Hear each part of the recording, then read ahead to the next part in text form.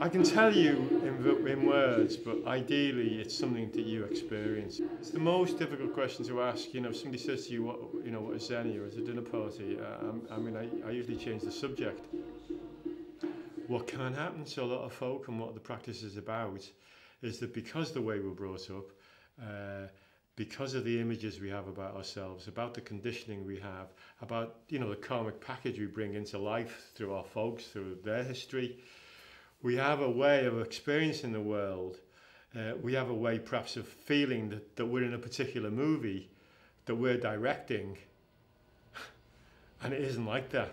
You know, the movie goes wrong. We're not directing it. Things happen. The conditioning and the ways we learn to be in the world that were useful when we were young or when we were teenagers or even in our 20s stop being useful. They, they keep us stuck. They're no longer appropriate. So a lot of the practice is about being releasing ourselves, letting go of those so that we can be more free. It's a creative process, you know. It's almost as though each of us is our own artist and the raw material is our lives. And our, our, our job in a way is to express that life as fully and as completely as we can eh, with all the talents that we've got. Shakyamuni Buddha, originator, the human being of Buddhism, realized what he called Four Noble Truths. One is that life is, for many of us, he calls it dukkha, which actually means a stuck axle, but which can be interpreted as suffering. But actually, I actually prefer to say more that a lot of the time, many of us feel a sense of lack in our lives. And what is this lack? You know, why do we feel a sense of lack? He said the sense of lack arises out of desire. It doesn't mean desire necessarily in a sexual sense. Obviously, we need that, or none of us would be here talking, you know. But he means the desire for our lives on an ongoing basis to be different than how they are. So, you know, we've got what we've got we don't want, or what we haven't got we do want, or we cling to things, um, or we become trapped in ways of thinking and concepts and ideas, and we don't want to let go of them. Our desire is to, to hold on to them. And all these things trap us and leave us feeling stuck and not free. Arise really out of what we could call a small self or the ego. The third, that's the second noble truth, it arises out of. it. The third noble truth is that fortunately there is a relief from suffering. And Buddhism is only about that. It's only about the relief of suffering.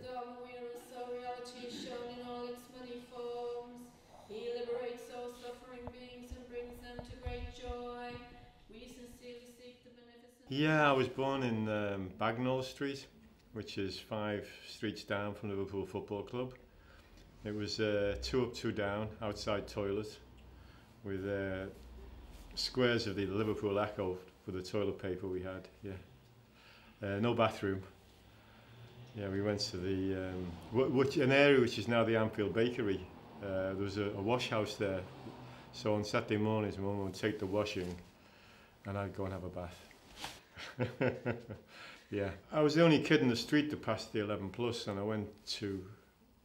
It was difficult for me. I, I was kind of wasn't very much at home in the street, and I wasn't very much at home at the school I went to because it was all kids from South Liverpool that we thought were middle class now. So I never kind of fitted in, but I was good at chemistry. We didn't have much choice, but I was good at chemistry. And so at 18, I got the opportunity to go to university and I chose chemistry. I went to Loughborough. So it was pretty cool for me. It was in the 60s. Beatles had just had their first number one. I turned up on a motorbike with a black mop haircut. So I was, you know, it was cool. It was, it was okay. Uh, and then I got a place at Manchester University to do a PhD, and that was in chemistry. And I was working on um, for the Ministry of Defence on plastics for spaceships that uh, stayed flexible at low temperatures and didn't melt at high temperatures. And one of the base chemicals we used were, were nitrosamines. And um, toward the end of the three years of the PhD, my father died. He worked at a Dunlop rubber factory, and one of the chemicals they worked with were nitrosamines. And he died of bladder cancer. So I thought, bugger that, you know, I, that wasn't where I was going to. So once I'd done the oral uh, for the PhD, which I passed, I then left chemistry and university and academic life all together and opened the Everyman Bistro with my partner then, Paddy, which was in the base of the Everyman Theatre. This would be what late 60s, early 70s, very early 70s, yeah. We were really successful from day one. You know, when we opened, there was nothing much in Liverpool like that. Um, to have a menu even without chips was exceptional, and to sell things like pizza and quiche was almost unknown in those days. You know, we were having quite a lot of trouble on the door. We used to have big queues to come in, and Paddy and I managed the door, and I decided I'd take up some martial arts, and I turned out to to really like it and to be really good at it. So, and I saw a magazine article about this uh, Japanese martial arts teacher in Okinawa. And something really appealed to me about it, and I just wrote. And what I discovered later was that the letter arrived, and there was a student from Tokyo at the at the at the at the, uh, the, the dojo, the martial arts training uh, hall, who could read my letter. He spoke English, and he read it out to Master Weichu, who told him to write to me and invite me to, to go and train.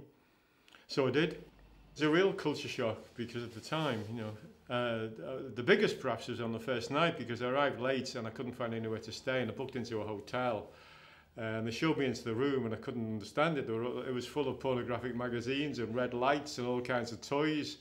And I realised in the morning it was a love hotel they, they used to they used to sublet for an hour during the day. At night, nobody wanted it because they were all back with their wives or whatever. So they would. So that was my introduction. Was a love hotel. But then they found me an apartment, and I stayed there for a year.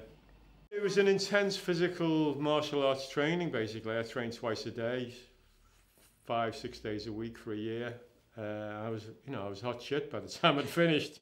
I went to Japan with the idea that it would it would have a spiritual dimension. That was my whole intention. You know, I'd, I'd maybe the death of my father. I don't know, but I'd been pretty much from 18. I'd been really successful in everything I did, and I still felt this whole this whole gap. You know, it, it, I still didn't feel satisfied. And when I went to Japan, I thought I'd find something that would fill the gap, you know. And, and although it was a wonderful experience, it, there wasn't a spiritual dimension to it that I, that, that gelled for me. And so when I came back, I started to look uh, at lots of other spiritual disciplines and, and, and explored several. And then saw uh, an advertisement in a Buddhist magazine for a, a retreat that was going to be in London, led by what turned out to be Mizumi Roshi, who the founder of Zen's, uh, his first successor, his second successor, Genpo, at the time, Genpo Sensei. Anyway, I phoned them up and said, could I go?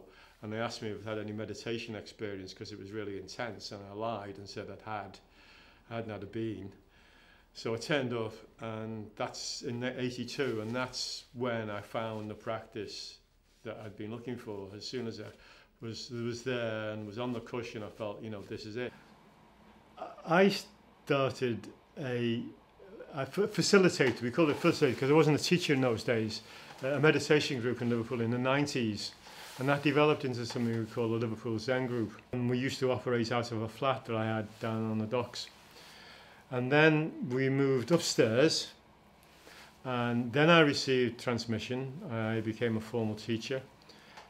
And whilst all this was happening, as a house in the Lake District, we developed it so that it would be a place to do retreats. And whilst I was there, I was thinking of the new name for this Sangha because it now could be an official and what I realised was the two most common features of the Lake District are stone and water. And I also realised that they gelled with this idea of hard soft. So that's where the name came from, stone water. Yeah. And then the Sangha developed from there. I had um, people who'd been sitting with me really signed up and fantastic group of people around me. And the Sangha is now thriving and large with centres around the country. So the Sangha is the community of people that come together to train and they can support each other, uh, you know, in good times and bad times. So it acts as a, a refuge. So that's the other thing about the practice, it acts as a refuge. It's important to have a teacher because it's really difficult to work on yourself by yourself. It's, it's even more difficult to sit, to meditate on your own than with other people. There's a certain group power that comes out of sitting together and, and you know, and supporting one another. We can easily and, and, and never at any point exclude myself from this, we can easily, uh, the, the ego can really manipulate, it's very clever, it can play clever tricks. The great thing that the ego most wants is to be enlightened. It thinks if it's enlightened, then it'll have, you know, imagines if it's enlightened, it'll have, it'll have credibility and spiritual power and you know all those things. Uh, completely missing the point that if it was enlightened, it wouldn't be there. it's gone. We dedicate its merits to all ancestors of Sangha members, the spirits of the deceased It helps me to solve problems, and if I ever get really stressed about something, uh, just sitting there for an hour, it, it just it's incredible how the answer just comes to problems. You know, using books or trying to meditate on your own at home. I don't think you can you can kind of lose your thread and go down go down keep going down different routes and and not get getting very deep with your practice. Whereas a teacher who's got a lot more experience and they've been taught, they can kind of hold your feet to the fire and say, well, you're missing this, or you, you know, you're not seeing that, and act like a mirror really, which is very hard to do for yourself, I think. So when people first come along, definitely I think it helps. I think they get a shock. They really get a shock when they sit for the first time and they find how busy their minds are. Uh, and then, you know, often people say, oh, well, they, they, they believe that you're supposed to stop thinking when you meditate. And that's not possible. The function of the mind is to think, so it thinks. You can't stop it. As soon as you stop it, it's like standing on a hose pipe, you know, the water will come out somewhere else. So there's quite a lot initially to learn. Uh, and in that initial learning, I think people do benefit. And then it becomes a much, it becomes more, uh, more about real change. And that's when the commitment is needed and the uh, willingness to, to, to, to be present to your life in all the things that are happening and not to avoid it, you know, not to turn away. So oddly enough, in Zen we say when a shit hits the fan, we turn round and we walk into the fan. We don't walk away. Okay. He looks very Really looks to be, yeah. That way? Yeah. Okay. so here's for, for anybody that's viewing this, here's a, a koan. It's a Western style koan. It's not so it's not giving anything away. Although I'm not going to give you the answer anyway. So imagine there's a goose in a bottle. Put in a bottle when it was quite young, and it grew till it's quite large. The problem is the glass bottle has got a very narrow neck. How do you get the goose out the bottle without either killing the goose, starving the goose, or breaking the glass?